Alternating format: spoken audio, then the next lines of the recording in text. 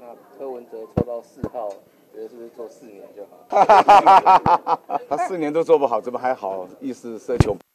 可以帮我们讲一下抽到二号这一个？我觉得二号很好啊，这个比手势也很容易，比一个 V 的手势就行了，胜利成功啊！台北要胜利成功啊！台北要加强招商引资，要加强我们的青年创新创业，要加强我们城市的竞争力，要加速我们的都市更新，这些都要胜利成功。那柯文哲抽到四号，觉得是不是做四年就好？